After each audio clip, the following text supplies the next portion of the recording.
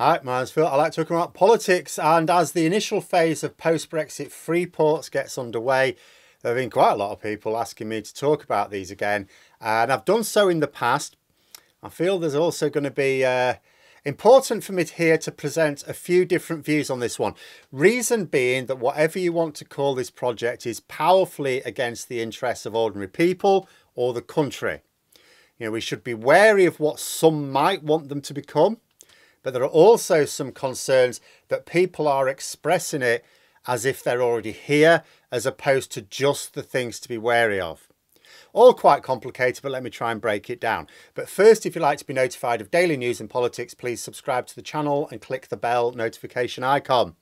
So for the purpose of this video, I'm going to refer to like three types of what the government would like to call something like an economic enterprise zone. First, free ports. That's what they are free ports. These are free ports as they used to exist in the UK when we were in the EU. But hang on, I thought the Tories said we needed to leave the EU to have free ports. No, we had free ports. David Cameron abolished them because they were crap. There are still some free ports in other parts of the EU, however. Second, we might call them Brexit free ports, because although there are free ports in the EU, there were free ports in the UK when we were members of the EU, all perfectly legal, albeit, as David Cameron himself thought, crap. There are still rules for their use. Now, in theory, there is a model of free port that the Tories might like to adopt, which wouldn't have been permitted in the EU. We could call those Brexit free ports.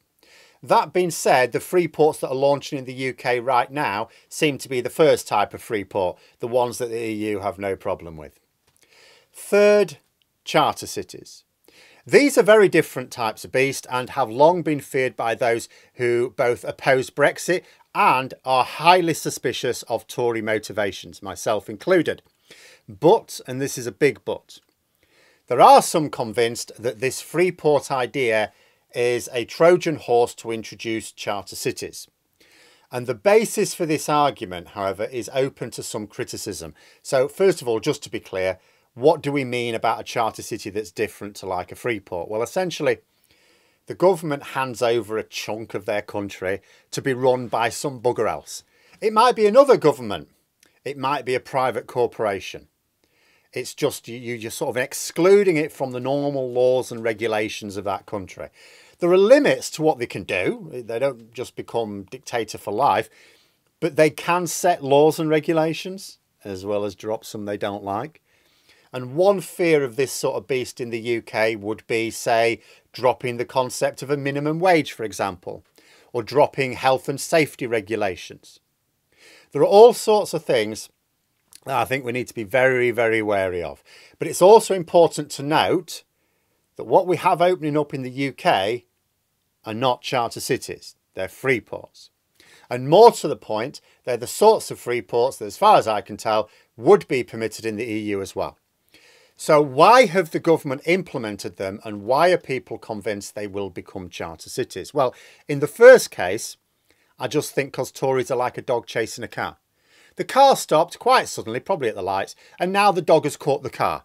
He doesn't know what to do with it. They promised free ports as a Brexit benefit, so they've introduced some free ports so they can claim they've delivered the benefits.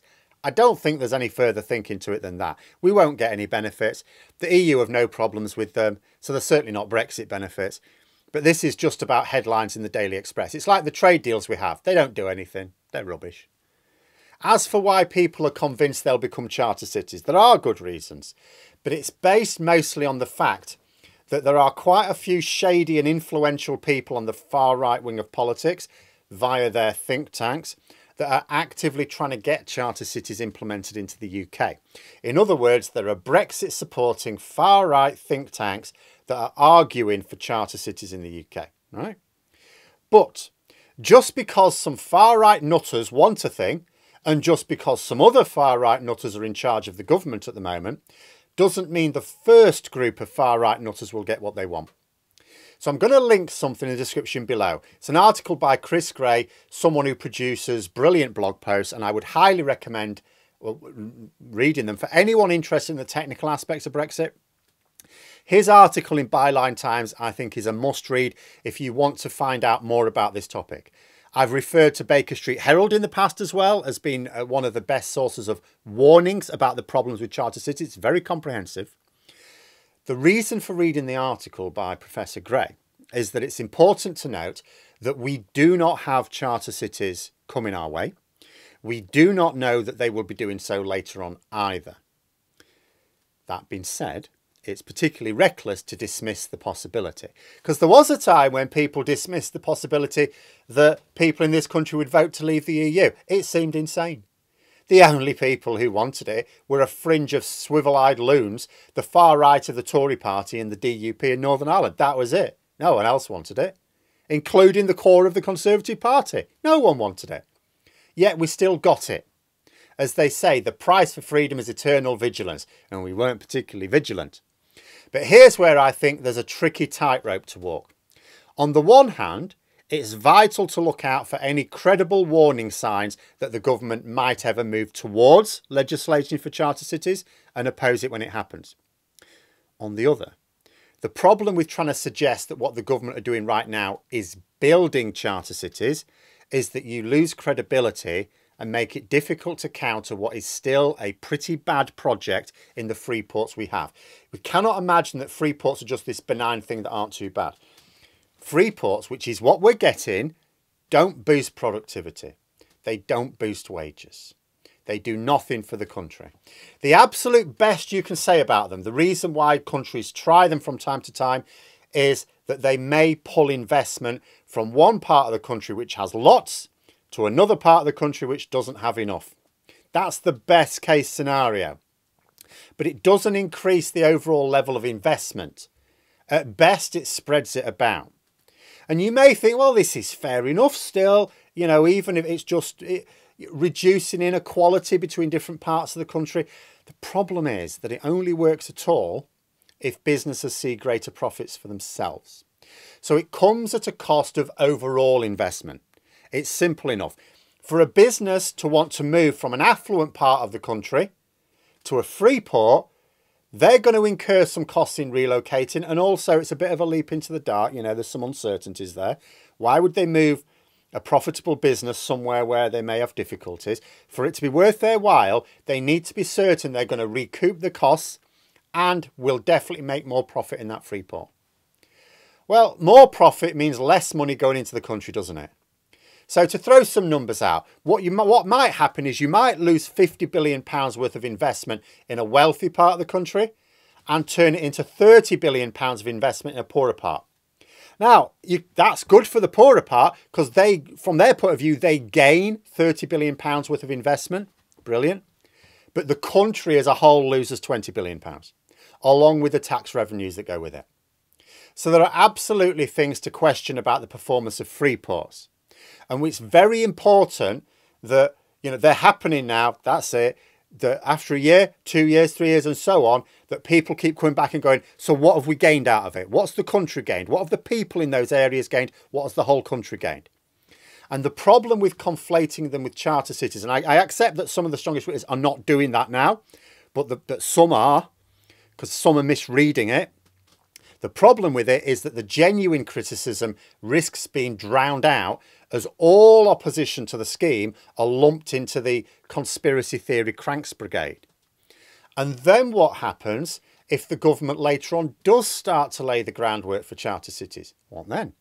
Opposing it becomes almost impossible because those making a fuss have already become famous as cranks and ordinary members of the public will treat them the same as flat earthers. So it's tricky. It's why I'm a believer in being very, very clear about the difference between what the government is doing and what it might do in the future. What it is doing is implementing a system of free ports that was perfectly legal in the EU. It's a scheme that used to exist in the UK as it still does in some parts of the EU. It was shut down by the Conservatives under David Cameron as being a waste of a white elephant. That's what we're getting. Something that the Conservatives thought was a waste of resources. What we might get later on is the free ports turn into something that might not be within EU rules. In other words, a Brexit free port. What we might also get is something that turns into a charter city. But there are no government plans for either. No legislation proposed to make it a reality because there would need to be. Just a concern that because some people on the far right want them, that they may one day have enough influence over a Conservative government to adopt them. Maybe there's a heightened concern as we change Prime Minister for another Tory who's associating herself with far right think tanks. But the problem we have right now is not charter cities, it is free ports. They are bad enough. They still allow companies to dodge taxes. That means less money for public services. It allows them to dodge normal planning procedures. That means they may build things that are harmful to the local community. They are a problem in themselves, but much harder to challenge if people muddy the waters with accusations that are easy to refute. I'll give you an example to finish off. When I worked at a college years ago, it was a lot of years ago, the very, very dodgy principal hired a friend of his son straight out of university, just graduated, into a senior executive role at the college. A fresh graduate becoming a very well paid senior executive, dodgy as hell. It was so dodgy that Private Eye caught it and ran a story on it. But they got one tiny little detail wrong. The article was bang on the money, but for one thing. They described this person as being the girlfriend of the principal's son. So the principal was able to counter and say, This is not my son's girlfriend at all. And done dodged the accusations without ever having to refer to the key point that he's appointed a raw graduate into a senior management role with a familial link to himself. Really important to get every single detail right if you get something even slightly wrong, even if it's not really important, not part of the, the story, if it's just a, a side issue, get it slightly wrong. Corrupt people will focus on that thing you got wrong to trash your entire objection. But those are my thoughts. Let me know yours in the comments below. Hope you found the video interesting. If you did, please click the like button. And if you'd like to support the channel further, the join button for memberships. And until next time, I'll see you later.